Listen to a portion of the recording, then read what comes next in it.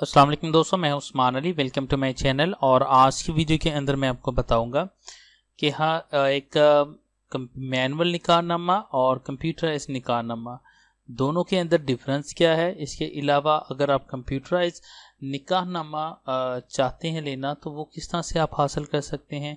इसके अलावा अगर नादरा के अंदर आपने जाके इंतराज करवाना है तो उसका क्या तरीकाकार है? तो तमाम की तमाम डिटेल्स जो हैं वो डिटेल के साथ इस वीडियो के अंदर मैं आपको बताऊँगा। तो चलिए स्टार्ट कर लेते हैं। स्टार्ट करने से पहले मैं आपको बताता चलूँ कि अगर आपने अभी तक हमारे यूट्यूब चैनल को सब्सक्राइब नहीं किया है तो यहाँ रेड कलर के सब्सक्राइब के बटन के ऊपर क्लिक करके सब्सक्राइब कर लीजिएगा और साथ बेल आइकन को भी दबा दीजिएगा ताकि जब भी हमारी कोई लेटेस्ट वीडियो आए तो उसके नोटिफिकेशन आप तक पहुँचते रहें। तो चलिए स्टार्ट कर लेते हैं।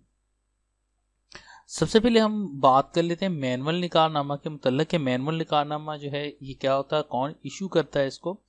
देखिए, जो मैनुअल निकाह निकाहनामा होता है कि ये रजिस्टर्डली जिन्होंने लाइसेंस हासिल किया होता है, वो प्रिंटिंग वाले इसको प्रिंट कर सकते हैं। इसके अलावा कोई भी दूसरा प्रिंटिंग वाला इसको प्रिंट नहीं कर सकता। उसके बाद ये किसी भी नाम के ऊपर जो है, मुख्तलिफ़ यूनियन काउंसिल्स के अंदर जो है, वो इसको इशू किया जाता है। या किसी भी मैनुअली कोई पर्सन जो होता है, वो उसके अपने नाम के ऊपर जो है, वो ये जो निकाह नामे का रजिस्टर्ड होता है, इसको अपने नाम के ऊपर इशू करवाता है। इशू करवाने के बाद जो है जब भी निकाह नामा कहीं पर भी निकाह पढ़ाया जाए तो उसमें मोस्टली तौर पर सबसे पहले जो है ये एक मैनुअल निकाह नामा जो है इसको यूज़ किया जाता है। इसके अंदर जो है ना सिर्फ़ तमाम शादी के हवाले से क्वाइफ मौजूद हैं बल्कि इसके अंदर आ, आ, जो हक महर की रकम होती है उसकी तमाम की होती है। गवाहन के तमाम की डिटेल यहाँ पर मौजूद होती है।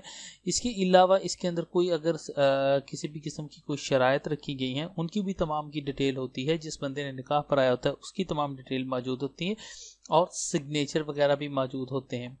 तो ये तमाम चीज़ें जितनी भी है ये एक मैनुअली निकाहनामे के ऊपर लिखी जाती हैं।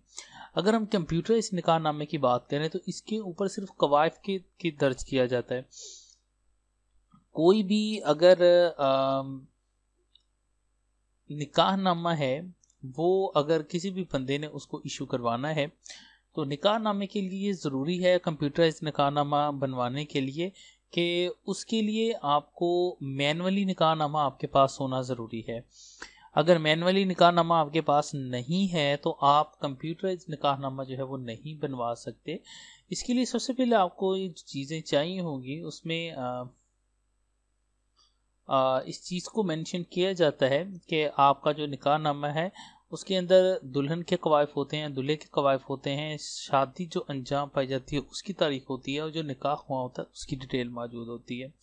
अब अमूमी तौर पर यह तसर पाया जाता है कि जो कंप्यूटराइज निकाह नामा है ये नादरा इशू करता है। ऐसा कुछ नहीं है। ये बल्कि एक आपके जो मुतल यूनियन काउंसिल्स हैं या फ़ील्ड ऑफ़िस है, वो इसको इशू करते हैं। तहम ये नादरा से लिंक होता है।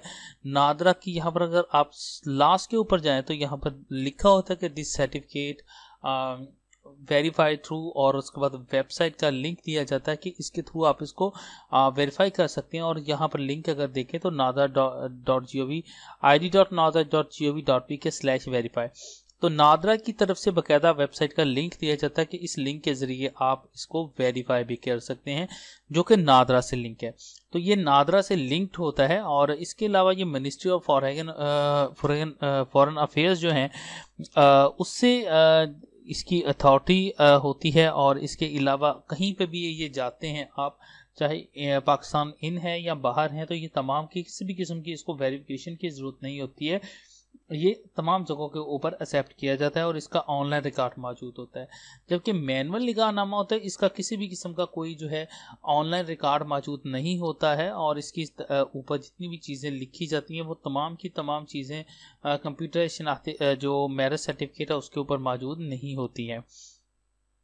उसके बाद अगर आपने कोई स्टेटस को चेंज करवाना है शादी के हवाले से नादरा के अंदर तो ये कंप्यूटराइज निकाहनामा आपको लाजमी ले जाना पड़ेगा। और ये तमाम चीज़ें जो है वहाँ पर आप दिखाएँगे। तो देन आपका जो है वो मैरिज सर्टिफिकेट जो नादरा के अंदर जो स्टेटस है, उसको चेंज किया जाएगा।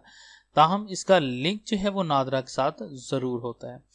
तो यहाँ पर आपको अगर आप कंप्यूटराइज निकाहनामा आपने बनवाना है तो इसकी जो फ़ीस के ऊपर बात करें तो ये तकरीबन अप्रॉक्सीमेटली जो है वो थ्री हंड्रेड इसकी फ़ीस होती है। मे बी इसमें इस वक्त जो है वो इसके अंदर मे बी कोई इंक्रीजमेंट भी हो चुकी है। तो यहाँ पर मैंने आपको मैनुअली और कंप्यूटर इस निकाहनामा से मुतल आपको बताया। अगर इससे मुतल आपका कोई सवाल हो तो आप वीडियो के नीचे कमेंट करके पूछ सकते हैं। थैंक फॉर वॉचिंग एंड अल्लाह हाफ़